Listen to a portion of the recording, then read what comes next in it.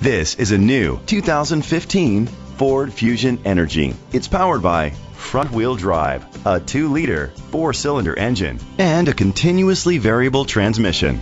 Great fuel efficiency saves you money by requiring fewer trips to the gas station. The features include a sunroof, internet connectivity, electric trunk, leather seats, heated seats, Bluetooth connectivity, Ford Sync voice activation, Sirius XM satellite radio, digital audio input, steering wheel controls. Safety was made a priority with these features. Curtain head airbags, side airbags, independent suspension, brake assist, traction control, stability control, a passenger airbag, low tire pressure warning, front ventilated disc brakes, daytime running lights. Great quality at a great price. Call or click to contact us today.